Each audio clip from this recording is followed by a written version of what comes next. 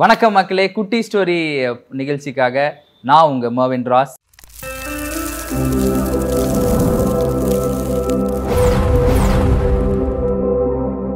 நார்மலாக எல்லார் மாதிரியும் சின்ன வயசில் ஸ்கூலில் வந்து ஆவரேஜாக படிக்கிற பையன் தான் ஸ்கூல்லேயே கல்ச்சுரல்ஸ்லாம் ஆக்டிவாக பார்ட்டிசிபேட் பண்ணுவேன். ஆக்டிவாக இதில் இருப்பேன் அப்படி இருப்பேன். அந்த மாதிரி பையனும் கிடையாது. நான் வாங்குற ரேங்க்லாம் பார்த்தீங்கன்னா தேர்ட்டி ஃபைவ் தேர்ட்டி ஃபோர் அந்த மாதிரி ஏன் ஏன்டா எழுதுறோமே அப்படின்ற டவுட்டில் எழுதுவாங்க தெரியுமா? மே மிஸ்ஸு அது தேர்ட்டி ஃபைவ்னாலும் ஒன்று தான் தேர்ட்டி சிக்ஸ்னாலும் ஒன்று தான் அப்படின்ற அந்த சுச்சுவேஷனில் இருந்து வளர்ந்த பையன் தான். பட் எல்லாரையும் பயங்கரமாக திட்டுவாங்க இது பண்ணுவாங்க. பட் டீச்சர் என்னை கூப்பிட்டு ஒரு ரெண்டு வாட்டி திட்டுவாங்க. அதுவும் இன்ஃபேக்ட் ஒரு வாட்டி பேசுனேன்னு சொல்லிட்டு நிற்க வச்சாங்க. நிற்க வச்சுட்டு பயங்கரமாக திட்டினாங்க. See where do you stand in life அப்படின்னு கேட்டாங்க. நான் அப்படியே திரும்பி கீழே பார்த்தேன். உடனே அதை பார்த்தே அறுபது பேர் சிரிக்க ஆரம்பிச்சிட்டாங்க டீச்சரும் சிரிக்க ஆரம்பிச்சிட்டாங்க. ஸ்கூலில் இருக்கும்போது இன்ஃபீரியாரிட்டி காம்ப்ளெக்ஸ் வந்து ரொம்ப அதிகமாக இருக்கும். அந்த வயசில் நமக்கு இருக்கிற மெச்சூரிட்டியில் அதெல்லாம் தெரியாது. ஓஹோ நம்ம இன்ஃபீரியராக ஃபீல் பண்ணுறோம் இல்லை நம்மளும் லைஃப்பில் எதாவது அச்சீவ் பண்ணுவோம் அப்படின்றது நமக்கும் தெரியாது. அதை வந்து டீச்சர்ஸோ இல்லை ஃபேமிலி மெம்பர்ஸ் தான் சொல்லி தரணும். ஏன்னா எனக்கு யாரும் பர்டிகுலராக எனக்கு யாரும் அந்த டைமில் சொல்ல ஸ்கூலில் எல்லா வாட்டியும் அவார்டு கொடுப்பாங்க. இந்த மிட் டர்ம் குவார்டர்லி ஆஃபலிக்கெல்லாம் அவார்டு கொடுப்பாங்க. அப்போ வாங்குறது எல்லாமே பார்த்தீங்கன்னா இந்த ஃபர்ஸ்ட் ரேங்க் எடுத்த பசங்க செகண்ட் ரேங்க் அவங்களுக்கு மட்டும்தான் இருக்கும். அண்ட் ஆனுவல் டேன்னு ஒன்று வைப்பாங்க. அது இன்னொரு கொடுமை. அது என்னென்னா வருஷம் ஃபுல்லாக மிட் டர்ம் குவார்டர்லி இல்லை யார் ஃபர்ஸ்ட் ரேங்க் வாங்கினாங்களோ அவங்களுக்கு திருப்பி அவார்டு கொடுக்கறது அந்த ஆனுவல் டே ஃபங்க்ஷன் இருக்கும். டுவெல்த் வரைக்குமே எனக்கு வந்து லைஃப்பில் வந்து படிக்கிறவங்களெல்லாம் வந்து ஒரு அண்ணாந்து வேற ஒரு பெரிய விஷயமா தான் நான் பார்த்துட்டு இருந்தேனே தவிர நமக்கா என்ன பண்ண முடியும் அப்படின்றது தெரியல. ஏதோ என் மனசில் தோணுச்சு இல்லை இன்ஜினியரிங் படித்தோன்னா திருப்பியும் நம்ம ஸ்கூலில் பார்த்த அதே ரேஸ்க்குள்ளே மாட்டிப்போம். அதனால அப்போ நான் எடுத்த ஒரு நல்ல டிசிஷன் லோயலாக சேரலாம் அப்படின்னு முடிவு பண்ணேன். நான் சொல்கிறது ஒரு டூ தௌசண்ட் நைனில் பார்த்தீங்கன்னா அப்போல்லாம் இன்ஜினியரிங் பீக் பிஸ்னஸில் இருந்த டைம் பிஸ்னஸ்ன்னு சொல்லக்கூடாது பட் இருந்தாலும் அட்ஜஸ்ட் பண்ணிக்கோங்க. பீக் சேல்ஸில் இருந்த டைமு ஸோ அதனால் அந்த ஒரு எழுதி கொடுத்த டிசிஷனோட நான் லோயலாலே கண்டினியூ பண்ணேன். அங்கே ஓவேஷன்ஸ்னு இயர்லி கல்ச்சுரல்ஸ்லாம் இருக்கும். அது சென்னையில் இன்றைக்குமே ஃபேமஸாக நடக்கிற கல்ச்சுரல்ஸ் அங்கேயுமே நான் வந்து எதுலேயும் பெருசாக ஜெயித்தேன் இல்லை ஒரு அவார்டாக கிடச்சிது அப்படின்லாம் கிடையாது. பட் எனக்கு நிறைய ஆப்பர்ச்சுனிட்டிஸ் நிறைய டிஃப்ரெண்ட் பீப்புளை மீட் பண்ணுறதுக்கான வாய்ப்பு அங்கே தான் கிடச்சிது. அதாவது முத முறையாக நான் வந்து மைக்கை வந்து யூஸ் மைக் யூஸ் பண்ண கற்றுக்கிட்டதாகட்டும் இல்லை மைக்கில் பேச ஆரம்பிச்சிட்டோம் இல்லை ஆங்கரிங்கிறது ஹோஸ்ட் அப்படின்றத ஒன்று ஆரம்பித்ததாகட்டும் அது எல்லாமே ஐ திங்க் நான் வந்து லோயலாக தான் ஆட்ரிபியூட் பண்ணுவேன். லக்கிலி ஒரு அதிர்ஷ்டமான விஷயம் என்னன்னா நான் எம்பிஏ சேர்ற ஒரு வாய்ப்பு கிடைச்சது. அதுவும் லோயலா இன்ஸ்டியூஷனுக்குள்ளேயே பட் அங்கே வந்து என்னன்னா எம்பிஏ படிக்கிறதுக்கு வந்து நான் ரொம்ப ஸ்ட்ரகிள் பண்ணேன். எம்பிஏ வந்து ரெண்டு வருஷம் கோர்ஸ் தான்.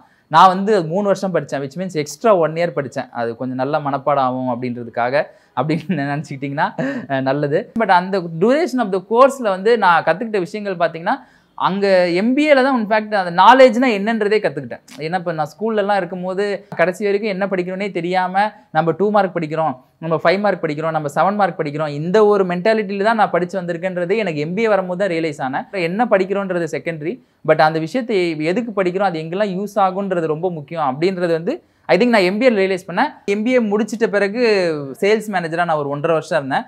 அந்த ஒரு ஒன்றரை வருஷம் ரொம்ப முக்கியமான பாட்டு ஏன்னா நமக்கு வந்து என்ன வர வராது நம்ம லைஃப்பில் இது பண்ண முடியாது அப்படின்னு எனக்கு சொன்னது வந்து அந்த சேல்ஸ் மேனேஜர் ஒர்க் தான். அப்பார்ட்மெண்ட் போகிறது நிறைய பீப்புளை மீட் பண்ணுறது எல்லா இடத்துலையும் போகிறது ஸ்கூலில் என்னை எப்படி நான் சீரியஸாக ஏதாவது பண்ணாலும் சிரிச்சாங்களோ அதே மாதிரி தான் நான் சேல்ஸ்மேன் ஒர்க்லேயும் ஏதாவது பண்ணும்போது மக்கள் சிரிக்கிறது. ஏன்னா நிறைய பேர் என்கிட்ட கேட்பாங்க நீங்கள் ரொம்ப தைரியம் வேலையை விட்டுட்டு ஸ்டாண்டப் காமெடி வந்துட்டீங்க. வேலையை வேணான்னு. நான் வேலையை வேணான்னு விட்டு வரல. அவங்க துரத்துற ஸ்டேஜில் வந்துட்டாங்க. தம்பி நீயா போறியா? இல்லை நான் அமைச்சிரா அப்படின்ற அளவுக்கு தான் என் பெர்ஃபார்மன்ஸ் இருந்துச்சு. ஒரு நாள் காலையில் எந்திரிக்கும் போது நம்ம பிடிச்சதை பண்ணணும் அப்படின்ற ஒரே ஐடியாவோட தான் எந்திரிக்கணும். தவிர வேலைக்கு போகணும். ஐயோ பிடிக்காத பண்ணுறோன்றதுக்காக நாள் செலவிடக்கூடாது. அப்படின்ற தாட் எனக்கு வந்துச்சு. ஸோ அதுக்கப்புறம் தான் டூ தௌசண்ட் செவன்டீனில் லைக் வேலையை விட்டுட்டு. அதே சமயம் என்ன ஆச்சுன்னா நான் அந்த நோட்டீஸ் பீரியடில் இருக்கும்போது ஹைதராபாத்தில் பிட்ஸில் வந்து ஒரு காம்படிஷன் நடந்துச்சு. ஸ்டாண்டப் காமெடி ஹண்ட் அப்படின்ற ஒரு காம்படிஷன் அதில் இந்தியாவிலேருந்து ஒரு பத்து பேர் செலக்ட் பண்ணியிருந்தாங்க. பேன் இந்தியாவில் வந்த பத்து பேரில் வந்து நான் வந்து ரன்னரப்பாக வந்தேன். செகண்ட் பிளேஸ் வந்து அது எனக்கு பெரிய ஷாக்கிங்காக இருந்துச்சு. ஏன்னா இந்தியாவிலேருந்து ஒரு பத்து காமிக்ஸ் வந்து பெர்ஃபார்ம் பண்ணுறாங்க தமிழ்லையும் பண்ணல இங்கிலீஷ்லையும் பண்ணுறோம் பட் அதுலேயும் வந்து நம்ம ரன்னர் அப் வந்திருக்கோம்னா ஐ திங்க் இது எல்லாமே ஒரு ஹிண்ட்டு தான். சரி நம்ம வேலையை விட்ட டைம் இது கரெக்டாக இருக்குது போல் அப்படின்றதுனால ஐ திங்க் அது ஒரு மோட்டிவேஷனாக எடுத்துகிட்டு ஸ்டாண்டப் காமெடி ஜேர்னி ஸ்டார்ட் ஆகி இப்படி நான் உங்ககிட்ட வந்து என்னோட கதையை சொல்லிட்டு இருக்கிறேன். ஸோ டிஃபைனிங் மூமெண்ட்டுன்றது ஒன்று நான் அந்த ரெசிக்னேஷன் மெயில் அமிச்சது. இன்னொன்று நான் ரன்னரப்பாக வந்தது பிட்ஸ் பிலானியில் இது ரெண்டும் I think changed my career நினைக்கிறேன். அதாவது எல்லா ஃபெயில்டு ஷோக்கு அப்புறமும் சரி இல்லை லைஃப்பில் வந்து இப்போ டவுன் இருக்கும் போதும் சரி நமக்கு தோன்ற விஷயம் என்னன்னா டே மற்றதெல்லாம் வரலன்னு தான் இதுக்கு வந்திருக்கிற. இதுவுமே வரலன்னா என்னடா பண்ணுவேன் இதுக்கு இன்னும் கொஞ்சம் வேலை செய்டா? இதில் இன்னும் கொஞ்சம் எழுதுடா? இதில் இன்னும் கொஞ்சம் யோசிடா? அப்படின்றது வந்து ஏதாவது ஒரு பேட் ஷோ ஒரு ஃபெயில்டு ஷோக்கு அப்புறம் வந்து டெஃபினட்டாக தோணும். என் ஃப்ரெண்டு மனோஜெல்லாம் கூட சொல்லியிருக்காரு. அவருக்கு யார் சொன்னாலும் தெரியல. அவர் என்ன சொல்லியிருக்காருன்னா ஜோக்குன்ற வந்து ஒன்று வந்து கிடையவே கிடையாது அப்படின்னு. எதுவுமே வந்து ஒரு ப்ரீ எக்ஸிஸ்டிங்காக எதுவுமே கிடையாது. ஸோ ஜோக்குன்றது வந்து நீங்கள் உருவாக்குறது தான் அப்படின்னு. பிரச்சனையான என்ன விஷயம்னா ஒரு ஷோவில் ஒரு ஜோக் நல்லா ஒர்க் ஆகும். இன்னொரு ஷோவில் சரியாக ஒர்க் ஆகாமல் போயிடும். ஒரு பெரிய ஹோட்டல் பெர்ஃபார்ம் பண்ண அந்த நான் பண்ணது ஒரு இருபது நிமிஷம். இருபது நிமிஷம் பண்ணி முடிச்சிட்டேன். பண்ணி முடிச்சுட்டு நான் வெளியே போகும்போது ஒரு பெரிய ஒரு அவர் என்னை கூப்பிட்டார். நானும் போய் நிற்கிறேன் நான் பண்ணது இருபது நிமிஷம் ஷோ அவர் முப்பது நிமிஷம் அட்வைஸ் பண்ணார். கரெக்டாக முப்பது நிமிஷம் அட்வைஸ் பண்ணாரு நான் ஏன் ஸ்டாண்டப் காமெடி கரியராக எடுக்கக்கூடாது? அப்படின்னு சொல்லி. நீ எல்லாம் கரியராக எடுத்தனா இது எவ்வளோ பெரிய ரிஸ்க் ஆகும்? அப்படின்னு சொல்லிட்டு அவர் ஏகப்பட்ட ரெஃபரன்ஸ் எல்லாம் கொடுக்குறாரு. நீ என்ன பண்ணிட்டு இருக்கிற? இதெல்லாம் ஜோக்குன்னு நினச்சி இத்தனை வருஷமா பண்ணிட்டு இருக்கியா? அப்படின்னு எனக்கே வந்து ஷாக் ஆயிடுச்சு என்னடா ஒரு மனுஷன் வந்து ஒரு ஷோ பார்த்துருக்காரு அவ்வளோதான் அதுக்கு முன்னாடி என்ன தெரியவும் தெரியாது. ஒரே ஒரு இருபது நிமிஷத்தை பார்த்துட்டு அவ்வளோ பயந்து போய் இவன் என்னடா பண்ண போறான்? இதே இதை காமெடி நம்பி சுத்திட்டு இருக்க ஒரு மனுஷன் இவ்வளோ அட்வைஸ் பண்றானே அப்போ உண்மையிலேயே நமக்கு இது வருதா? அந்த மாதிரி நிறைய தாட்ஸ் வந்துச்சு.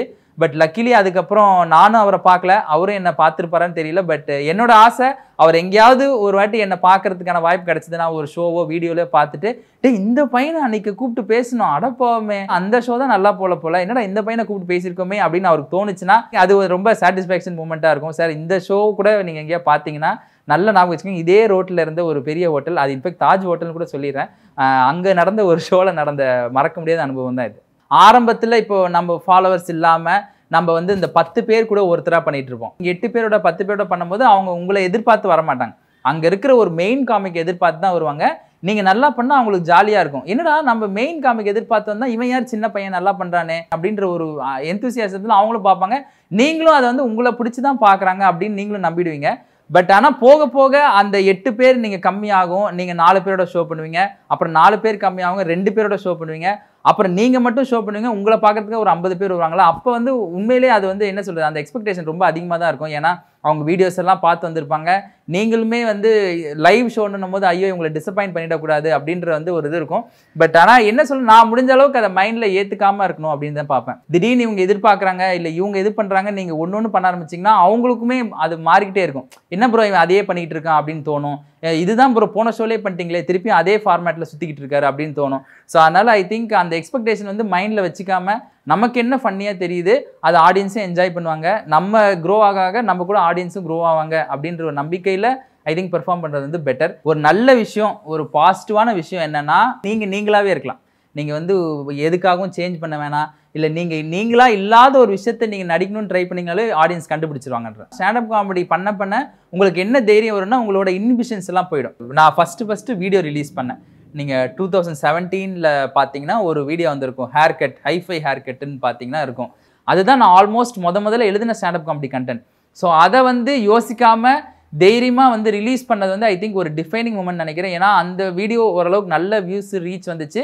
தட் புட் மீ அந்த மேப் நான் ஸ்டார்ட் பண்ண டைமில் என்னோட முதல் ரெண்டு மூணு கார்ப்பரேட் ஷோஸ் வந்து சரியாகவே போகல ஒரு பெரிய ஃப்ளாப்பு இன்ஃபேக்ட் ஒரு கார்ப்பரேட் ஷோ வந்து ஹைதராபாத்தில் போய் பண்ணிட்டு வந்தேன். நம்ம பெரிய பெரிய காமிக்ஸ் கூட கிடைக்காத ஆப்பர்ச்சுனிட்டி எனக்கு வந்து ஹைதராபாத்தில் ஷோ கிடைச்சது விச் மீன்ஸ் ஃப்ளைட் போட்டு கொடுத்தாங்க ஹோட்டல் ரூம் புக் பண்ணி கொடுத்தாங்க. எனக்கே ஒரு ஆச்சரியம். என்னது நமக்கு ஃப்ளைட்டா நமக்கு ஹோட்டல் ரூமா பட் ஆனால் அது ஒரு பெரிய ஃப்ளாப்பு அதை பார்த்துட்டு எனக்கு ஒரு பயம் வந்துருச்சு. என்னடா ஸ்டாண்டப் காமெடியோட மெயின் ரெவன்யூவே கார்ப்பரேட் ஷோ தான். இதை பண்ணால் தான் நமக்கு ஓரளவுக்கு சஸ்டெயின் பண்ண முடியும். இதுவே நமக்கு வரலையே அப்போ இவ்வளோ நாள் நம்ம இருந்தது ஒரு பபுளோ இவ்வளோ நாள் நம்ம இருந்தது வந்து ஏதோ நம்ம வீடியோ பார்க்குறாங்க பிடிச்சிருக்குன்னு சொல்கிறோம் தவிர ஒரு கார்ப்பரேட் சொல்ல வந்து நம்ம ஃபெயிலியராக இருப்போமோ? அப்படின்ற ஒரு பயம் வந்து இருந்துச்சு. ஐ லேர்ன்ட் அ லாட் லைஃப்பில் ஒரு இது இருக்கும் தெரியுமா? கான்ஃபிடென்ட் இல்லாமல் ஒரு என்ன சொல்லுவாங்க? செக்யூரிட்டின்னு வாங்களே ஸ்டூரிட்டி லைஃப்பில் வந்து அஷூரன்ஸ் இருக்குது அப்படின்னா என்னால் மைக்கை தைரியமாக பிடிக்க முடியும். அப்படின்ற கான்ஃபிடென்ஸ் எனக்கு லைஃப்பில் கொடுத்தது அந்த மைக்கு தான். ஸோ ஐ திங்க் அந்த ஒரு விஷயம் என் லைஃப்பில் வந்து நான் எப்போவுமே டவுனாக இருந்தாலும் ஏ இது நமக்கு தெரியுதுடா அப்படின்ற ஒரு சந்தோஷம் ஐ திங்க் ஐ ஆல்வேஸ் ஹேவ்னு நினைக்கிறேன். மற்றவங்களுக்கு நீ இன்ஸ்பிரேஷன் ஆகிறதுக்குரிய எல்லா வாய்ப்பும் உனக்குள்ளே இருக்குது ஸோ அதை மட்டுமே நம்பி நீ வந்து ட்ராவல் பண்ணு. உன்னை வந்து மற்றவங்களோட கம்பேர் பண்ணிக்காமல் இரு. அது போதும் அப்படின்றது தான் வந்து ஐ திங்க் நான் என்னோட சின்ன வயசு அதான் சொன்னல ஸ்கூலில் திட்டு வாங்கி பெஞ்ச் மேலே நின்ன பையனுக்கு நான் சொல்கிற அட்வைஸாக இருக்கும். லைஃப்பில் நான் இந்த மாதிரி பிராண்டட் அன்பாக்ஸ் வீடியோஸ் எல்லாம் பண்ணதில்லை. ஸோ ஐ திங்க் அட்லீஸ்ட் இதுதான் நான் பண்ணுற ஃபஸ்ட்டு அன்பாக்ஸ் இந்த மாதிரி நடக்கிறதுன்றது எங்களுக்கு பெரிய மோட்டிவேஷனாக இருக்குது ஸோ அதனால் ladies and gentleman introducing to முதல்ல நான் பார்த்துட்டு அதுக்கப்புறம் உங்களுக்கு காட்டுறேன்.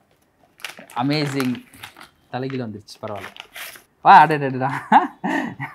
இந்த லுக்கு வந்து நான் முன்னாடி வச்சுருந்த ஃப்ரெஞ்ச் பியர்ட் லுக்கு முடி கொஞ்சம் நிறையா இருக்குது அது நல்ல விஷயம். ஸோ அதனால் ஐ எம் ரியலி எக்ஸைட்டட் இந்த இந்த மாதிரி ஒரு portrait and it's leggings pant போட்டு விட்ருக்காங்க எனக்கு.